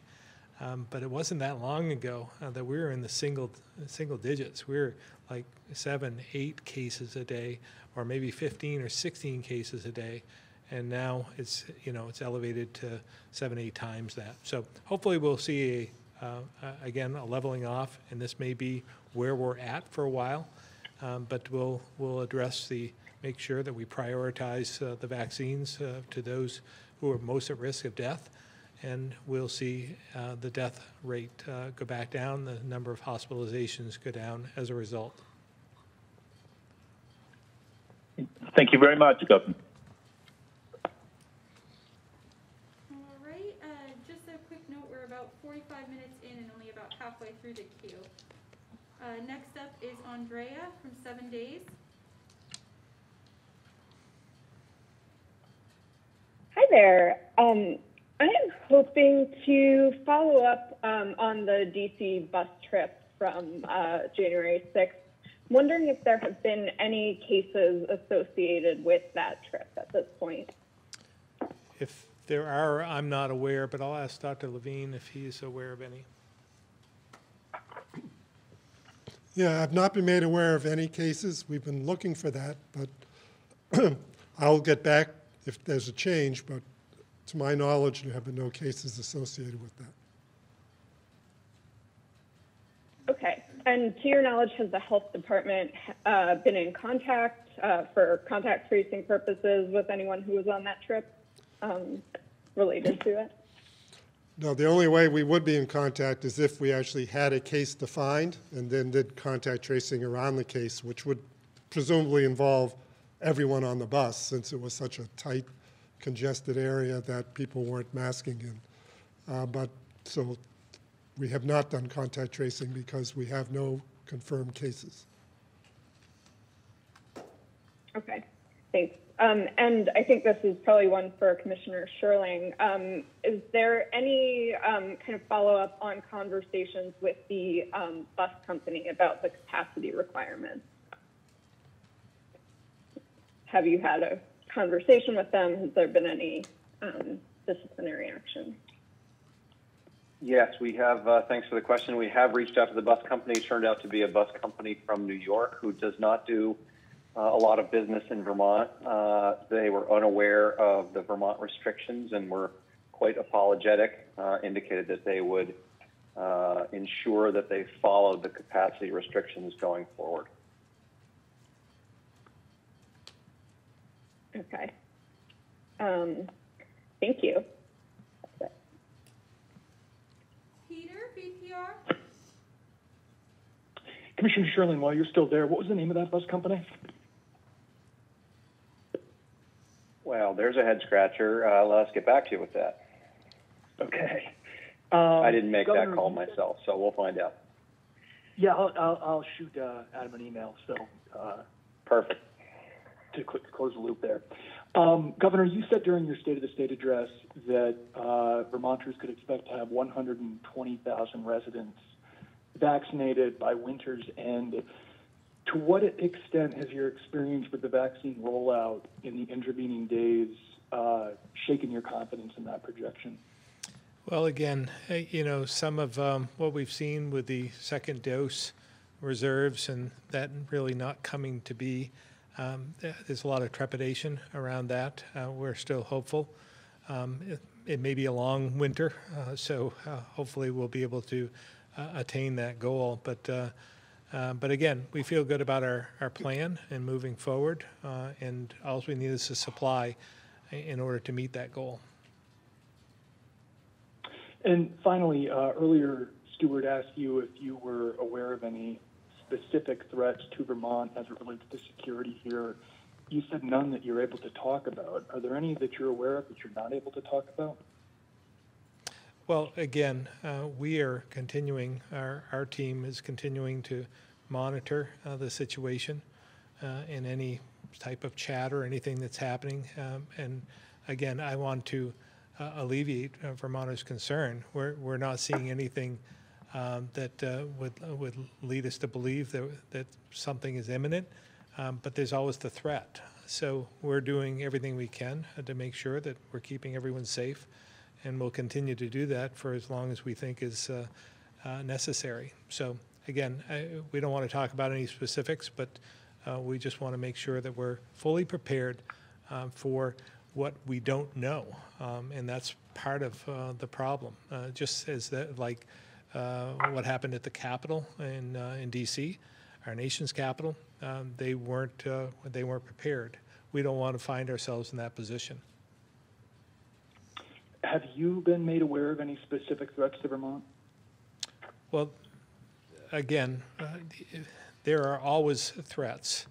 Um, Whether they're credible uh, and whether they're substantiated uh, are two separate questions. So we follow every lead, uh, and we're monitoring the situation. Commissioner Schirling, anything uh, you want to add or anything that I should have said or didn't, didn't say? Yeah, I think you covered most of it, Governor. Just uh, the only fragment I would add is, uh, as we've said before, there are uh, folks who affiliate themselves with some of these uh, right-wing uh, radical groups uh, in every state in the country. So that is, of course, concerning uh, both on a national scale and inside Vermont. So, as the governor said, we're we continue to prepare for a variety of scenarios and hope that uh, we never have to use those plans. Thank you. Greg, the county courier. Thank you, Rebecca. Good morning, Governor. How are you? I'm good. Um, good. Um, I want to pick up where Mike Donahue left off on his question a few minutes ago. Uh, earlier, you mentioned that the state is focusing on people's jobs and, and how they qualify for the vaccine based on the likelihood that they'll have contact with, you know, a medical patient, emergency patient, patient. Uh, although it appears that the state police is, they're making that uh, distinction based on rank, and and you know, even though high-ranking troopers do spend time on the road, are going to be pulling people over from time to time, are going to be, you know, responding to an accident when the roads get busy and and uh, other troopers are busy. So I'm wondering why. Um, it's being strictly uh, based on rank in the state police versus, uh, you know, if you have a strictly desk job or I'm gonna, I'm gonna take that, on the road. yeah, I'm gonna take that as a question, Greg. Um, You're, you're making a statement that I don't know is fact. So I'll take that as a question, and I'll refer that to Commissioner Schirling or Secretary Smith. Yeah, I'm happy to answer that, Governor. Uh, the the lines of demarcation for first responders have nothing to do with their rank. They have to do with their job description and whether they are folks who would, uh, as a result of their day-to-day activities, be assisting with the care, uh, movement, or transportation of patients while they assist emergency in emergency medical response. So that's the that is the key dis- defining factor. So there's nothing within the state police structure that, that based on rank, they would or would not get a vaccine? Because my, my understanding is that's different. It's n- it's not based on rank. Uh, it may by default happen to fall that way because it's it's uh, a barracks commander, for example, who's a lieutenant, um, does not have the same occasion to respond as an, uh, to assist with the, the provision of emergency medical services as a uniformed patrol trooper. Okay. Um, I, I was under the impression that it was sergeants down, not just lieutenants, and uh, sergeants are certainly on the road on a regular basis. Uh, I, I've seen press releases, at least sporadically, from lieutenants who, you know, cover calls while other troopers are busy, or whether, you know, sergeants haven't quite gotten there yet. Uh, we know the roads get very busy in the winter, uh, and and employees are stretched thin. I uh, wouldn't dispute that. Uh, I, I, if you know, if there is an underlying issue with uh, someone who is a responder not um, eligible for a vaccine, I would ask them to uh, send that up through the chain of command. Okay, and I guess I'll uh, Governor, now that you're aware of it, because you said you weren't a few minutes ago, does that worry you, or No, you're, do you wait a second. by that? I, I'm not aware of it. You're, you're, I- what I said was, you're stating a fact that I didn't know existed. So what I'm saying is, I, you're, you're making me aware of a question you had. So we're going to, uh, I think as uh, Commissioner Schirling said, if there is a trooper who doesn't feel uh, that they're, uh, that they received the vaccine, and they should have, because they're on the road, uh, they should send that up through the chain of command. But we're not aware of a situation, so it doesn't, I- I think the situation doesn't exist. from my perspective. Okay, well, uh, for the sake of time, I guess I'll leave it at that. Thank you, Governor. Thank you. Tim, Vermont Business Magazine? Uh, thank you, Rebecca, and thank you to uh, Tom Lauzon and Darcy Carr at the SBA. And uh, a couple of questions on this PPP. Would would businesses in Vermont expect the same amount of money? I'm getting this question quite a bit. The same amount of money in uh, P2 as they got in P1, assuming everything is the the same. People are wondering just what the what they can look forward to. Um, I'm going to look at either Tom or Darcy. Darcy? Uh, Darcy, are you on the line and maybe able to answer Uh, that? Yes. Yes, Governor. Um, So under the second draw of the PPP program, the maximum is 2 million, but the question is very good because it is still based on your average monthly payroll. For most applicants, that's going to be 2.5 times your average monthly payroll. I think Tom mentioned it's 10 weeks. Um, But if you're in that 72 NAICS code, which is restaurants and hotels, uh, food service and accommodation, you get 3.5 times your monthly average payroll, and that's based on 2019, um, and, or you can use 2020 now under that second draw. So, so it sounds like it, it would be pretty much the same, except for those those groups of restaurants, and hotels, which would get a little bit more of that. Right, and some people are asking, well, um, you know, I didn't get a first PPP loan, and I'm a restaurant because I couldn't open. So can I get the three and a half times my monthly average payroll if I get a first draw PPP? And the answer is no. Under the first draw, it's two and a half times your average monthly payroll. And if you haven't had that first draw, that's the loan that you do have to apply for first. Okay, and the EIDL would work pretty much the same as it did before. The EIDL is kind of a, a, a bifurcated program. So there's the loan side of the house, which Tom went over, and that is still available. Um, those are the long-term loans for 30 years with very low payments that cover about six months of your operating capital. Um, the other thing that was a feature in the new act that was passed December 27th um, is called this targeted EIDL advance. And it's a bit confusing because um, basically there's $20 billion available. And what the act is saying is SBA needs to go back to those people that were eligible to get a $10,000 advance, but we gave them 1,000 per employee instead, again, out of concern for funding. So our first priority will be to seek out those people who didn't get all of the 10,000 and who are in a low income community and have no more than 300 employees and saw a 30% drop in their gross receipts. You have to meet all that criteria, then you get the rest of the 10,000. And the second priority is also people that applied. Um, this is back into you know 20, uh, 2020 for the EIDL loan and advance combination and didn't get any of the advance because all the money was gone. And those folks will also be contacted as a second priority, but they also have to meet those same criteria of being in a census tract as a low income community. Um, it seems to be defined as a new market tax credit location, um, but there will be a mapping tool, we understand, and the people affected will be notified by SBA.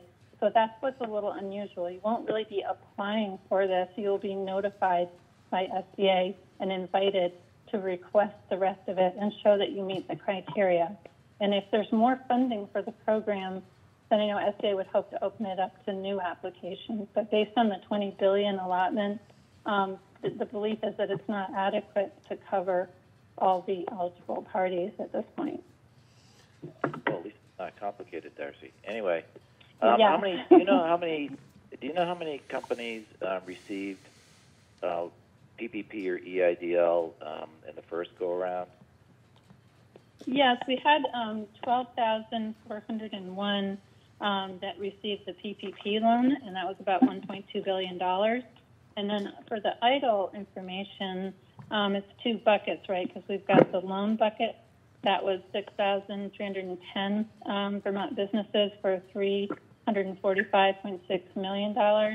And the advances, which is that grant portion of it, we had 11,425 um, businesses receive um, less than 10,000 in some cases, um, and that totaled 35.6 million. Okay, great. Thank you very much, Darcy. Thank you bet. Aaron, VTDigger.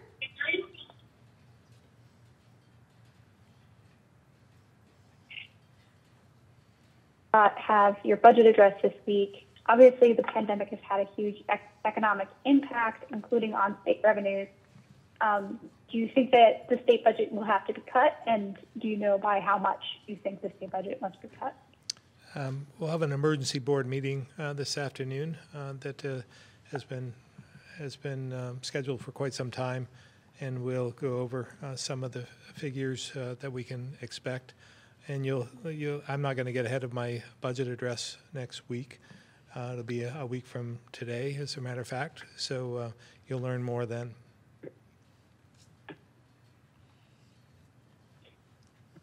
Uh, okay, thank you. Um, I also I got a couple notes from people who are a little confused about the um, um, spouses signing up situation. So I just wanted some quick clarification.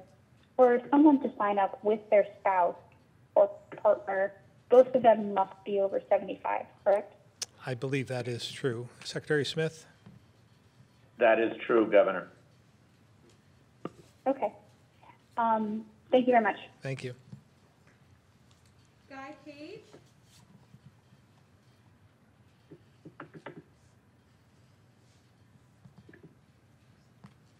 Uh, Governor, Senate Bill S-25 would seem to allow integrated marijuana growing, production, and sales operations to bypass the local voters and go directly to the Cannabis Control Board for approval. Uh, the bill says, well, it proposes to require towns to place the issue of retail sales cannabis on the ballot before March 20, March 1, 2022, and this is the relevant part. It allows the Cannabis Control Board discretion as to whether to grant any integrated licenses. So the opponents are worried that big marijuana, these operations that do grow, produce, and sell marijuana in one integrated operation, would be able to bypass local voters for their retail operations. Are, are you aware of this proposed change, and what do you think about it? Well, again, it's a, proposed is the key word. It sounds as though I'm not familiar with it, but uh, there are a lot of bills, as you know, a guy, they are introduced. Uh, They go nowhere. We'll see what happens with this one. We haven't even uh, formed the Cannabis uh, Control Board at this point. Uh, We're, uh, we're still working on that, so we have a long ways to go. So I, I would hope that we'll adhere to the law that we put into place and not make any substantial changes along the way, although we could use a little bit more time. And I did have some, some suggestions on what we could do uh, to improve the law as we move forward, but uh, that wasn't one of them. Okay, thank you. Uh, Commissioner Levine, uh, when is a reasonable time frame in which we will know we will know whether or not these two dose recipients are immune and cannot transmit? I understand what you said to Ham Davis, but I'm just thinking about the time frame. When are we going to know? We're going to know as quickly as the scientific research lets us know. Um, we have a glimmer, but we don't have really a full picture yet. So um, all we have is a little bit of preliminary information from, I believe it was the Pfizer trial, that le- leads us to believe that it may have an impact on transmissibility, but we don't actually know from a broader sample. And so I don't know how long their uh, study is going on, going back to all the people that were in the trial to be able to determine that. Um, So I, I can't, I can't, I can't actually give you the timeline because I don't know how far along they are. Thank you.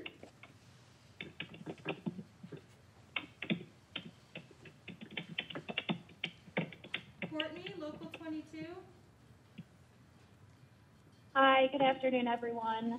I've read that the variant of the virus has popped up in Massachusetts, which, as we know, is right in our backyard. I'm wondering if and when it lands in Vermont, if this is going to impact the state's response, and if there's anything that can be done differently. Yeah, I think uh, Dr. Levine answered this before, but go ahead, Dr. Levine. I would submit that Saratoga's more in our backyard than Boston at this point, because the case was in Boston, uh, and Saratoga's not too far from the border. Uh, So we're, and, and I know Connecticut's also had case, so, you know, it's um, forming a nice perimeter. Um, So I suspect it's either here already or will be here soon. Um, You know, its transmissibility is its major, its major piece of notoriety at this point in time. And that's why I emphasized in my opening comments, uh, this is, this is really the time to redouble our efforts because everyone from the scientific community and the CDC included really says that if we want to do something special about this variant, it's just really do all the things we need to be doing, but even more. Now, admittedly, many parts of the country aren't even doing those things that consistently compared to Vermonters who have been very, very uh, cooperative with that. Um, and you hate to ask for even more, but this is the time to really ask for more because if there would be anything that would slow down some of the kinds of policy changes people were asking about earlier, it would obviously be if a more transmissible variant was actually causing way more cases and way more hospitalizations. Uh, but I really feel we have the opportunity here to, um, to uh, interfere with that, if you will. Um, and that's why I made my comments as I did. Did I cover all the aspects of your question? Yes, you did. Thank you. Ed, Newport Daily Express.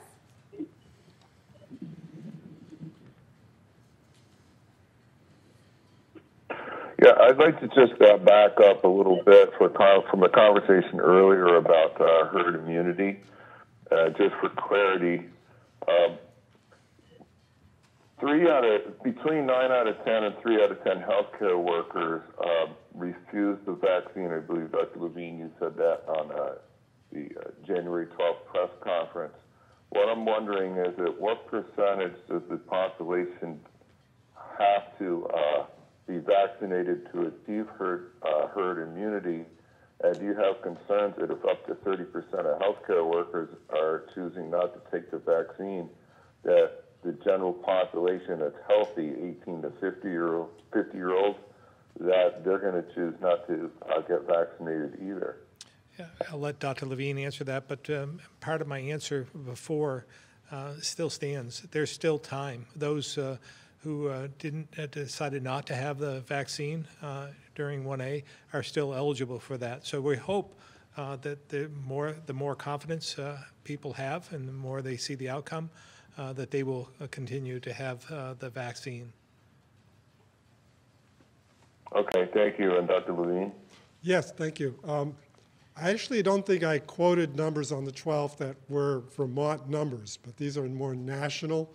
I, I want to get my hand on Vermont numbers as we come to the close of 1A, so we have a really good idea about uh, numbers of healthcare workers who have or haven't got vaccinated, and especially numbers of workers in the long-term care facilities who have or haven't got vaccinated. Because nationally, the biggest concern is in the long-term care facility staff. Um, and the reason behind that is actually because many of them come from communities that have lack of trust in government, lack of trust in this kind of an enterprise, um, and have a higher risk due to their racial or ethnic background towards getting the virus. So I'm feeling very comfortable with what we're putting in place in Vermont, especially regarding uh, people from ethnically and racially diverse groups in Vermont. Not saying that all, that all long-term care facilities only employ those kinds of employees, because I do believe they have a very heterogeneous workforce.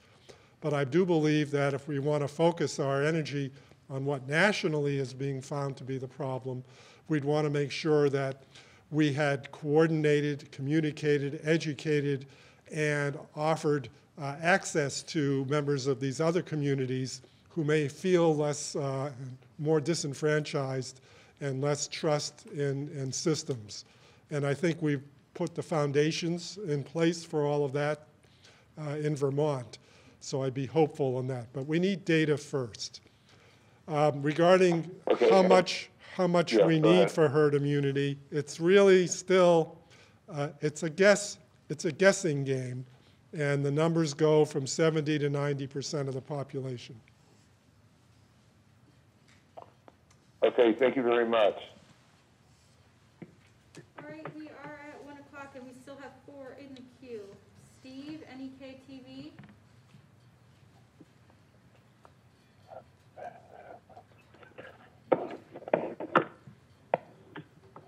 Hi, can you hear me? Go ahead, Steve. Great, thanks. Uh, Governor, about perceptions, uh, uh, once I was at an art show with my dad when I was a kid, and we came, uh, came across a, a Picasso painting, and uh, I asked him, you know, what was up with the Picasso, and he told me that that was the way some people perceived the world around them. Uh, at the last conference, you said that you perceived the Republican Party uh, to be have white supremacy dominating, uh, along with racial inequity. Uh, what with the highest number of minority votes uh, going to a Republican candidate since 1960 and stuff like that, uh, how do you perceive the party headed in that direction? Well, again. If I may. We're, we're seeing a lot of uh, extreme groups um, attach themselves to the Republican Party across the country.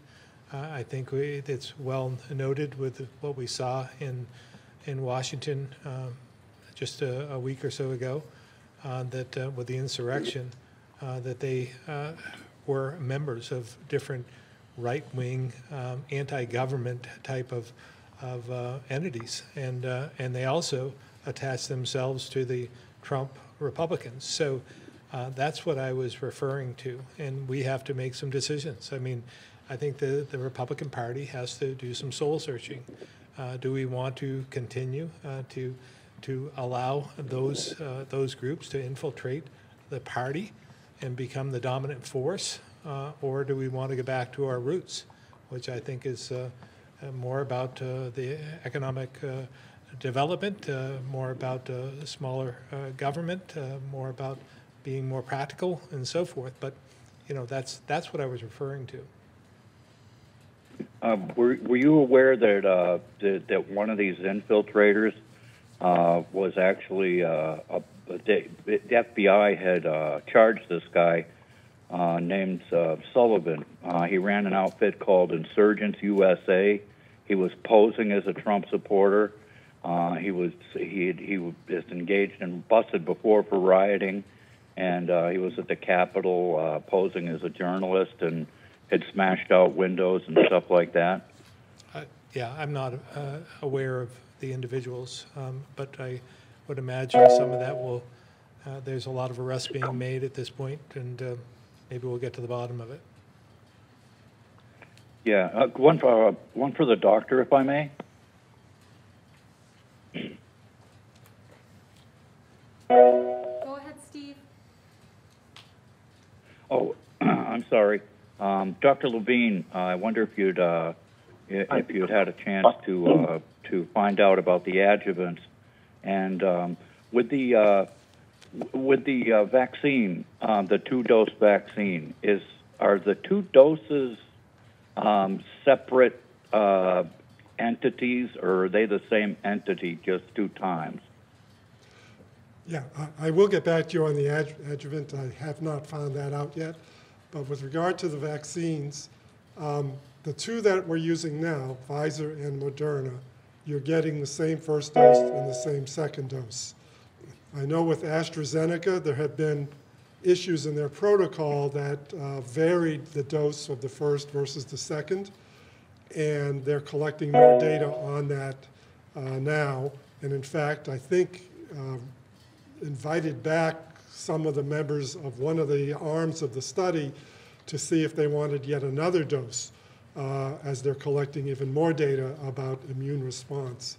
But for the two vaccines we're using now, you get the same vaccine and the same dose of that vaccine twice. And speaking of AstraZeneca, um, were you aware that uh, they'd worked with the uh, they're, they they're working with the uh, Russians uh, on the on the Russian uh, vaccine, and uh, and how were the Russians avail? Uh, uh, uh, how would the how did the Russians come up with the vaccine first? Wow. Yeah, I'm not, I'm not aware about AstraZeneca and the Russians, and, uh, and I suppose the Russians uh, had their own version of Operation Warp Speed for, what do they call it, Sputnik, I think? Uh, Their. Yeah, their Sputnik vac- 5. Yeah, their vaccine, um, but I don't have more insight into that, sorry. We gotta move on, we still have three left. Okay, great. Thank you very much. Joe, Barton Chronicle.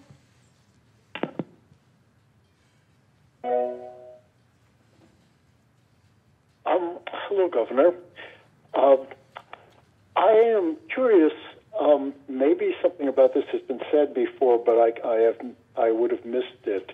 In that case, um, are people who are getting vaccinated um, receiving any kind of I don't know, for lack of a better word, credential? Um, I suppose that would presuppose it would be good for something, perhaps getting on airplanes at some point, um, or is that not the case? You know, I, we talked about that in the beginning, but I'm not sure oh, what, uh, what they're receiving at this point in time. Secretary Smith, do you have the answer to that? I don't have the answer to that, Governor, but I'll, um, I'll follow up with Joe on the answer to that. Um, there are some that are issuing cards, but I don't know how widespread that is. And Joe, let me uh, follow up on that for you. Thank you. Um, one other question, and I suspect um, the person most involved isn't on the call today, but perhaps uh, there is an answer.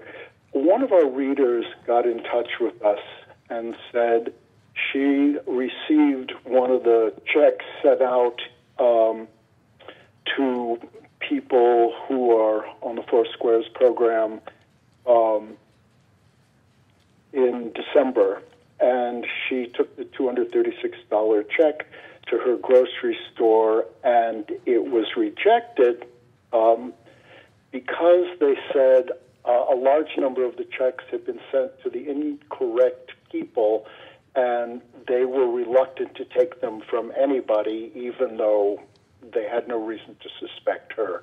Is this something that you've heard about, and is there something that can be done to make um, the assistance useful to the person that was supposed to help? It does seem like I recall there was a problem with checks, a run of checks at one point in time, but that, I don't re- recall whether it was the, the uh, Labor Department or whether it was uh, um, AHS. Governor, it was AHS. It was the Four Squares program, as Joe had, had pointed out. We had one uh, batch of a bigger batch that did go to the uh, wrong addresses. The checks were uh, stopped and uh, new new checks were issued. So, Joe, again, I will uh, I will make sure that we reach out to you, get the name of that person, to make sure that it's uh, it's resolved on on her uh, situation. But by and large, it was resolved very very quickly within days of uh, when that batch, and it was a small batch of checks um, in in in comparison to the larger batch that went out uh, on enhanced benefits for the uh, four squares. Thank you very much. I look forward to hearing from you. Thank you, Joe. Andrew, Caledonian Record.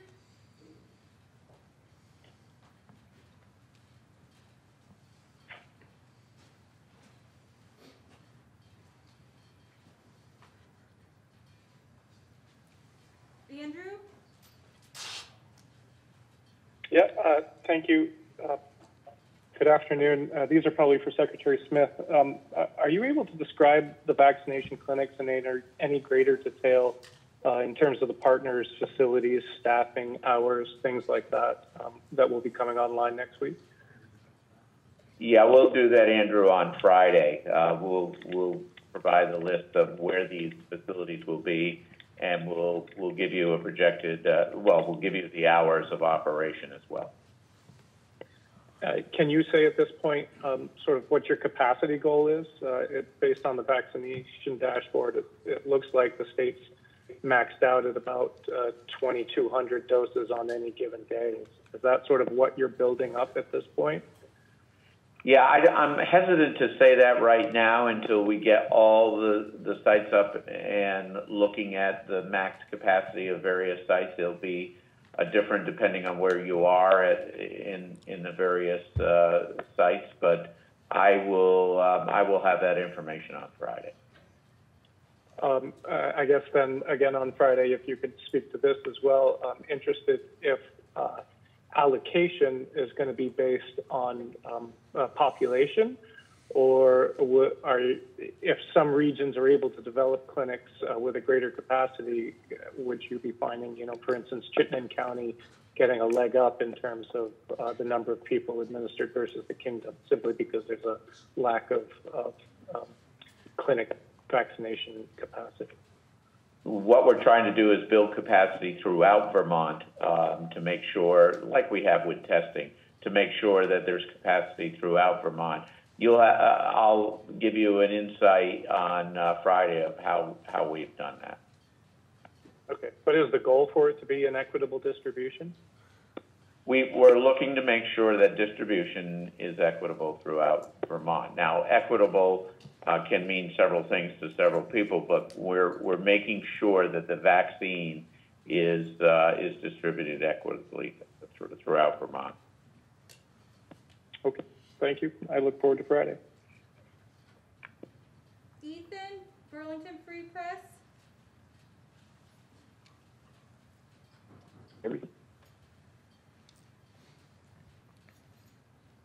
Hi, can you hear me? We can. Great, thanks. Uh, I just had a question for Secretary Smith, uh, kind of going off of last week's press conference. Um, are there any, is there a plan to create a volunteer pool to sort of assist the vaccine call center when it runs up? I know we had one reader call, well, reach out to us to just ask um, if you are anticipating backups on the line and are trying to promote younger adults or younger children of older Vermonts to help their relatives with the program, help that program, help, sorry, help their um, relatives uh, sign up online. Could you also try to tap into people who may not have those relatives but want to help out people who would prefer to call? Yeah, Ethan, that's a that's a great question. We are encouraging relatives of uh, seniors um, in Vermont for those seniors who are don't feel that their sort of uh, savvy online savviness um, needs uh, meets the needs of registering. We're asking them to help their seniors to uh, register online. Obviously, um, we're directing people to online rather than uh, trying to call. We do not want the call centers to be overwhelmed. As the governor mentioned in his opening remarks, we are building up the capacity of the call centers to take uh, calls, but we also recognize that uh, the more that we can direct people to the online application form or vaccination registration form, the better it will be uh, for everyone. Uh, so, um, you know, we, we haven't given a general call for people to man, um, man the sort of the uh, vaccination call lines, but we may um, if we need it. We have several um, uh, organizations that have stepped up. We have contractors that have filled in uh, on various uh, for various uh, call center operations. We have existing call centers.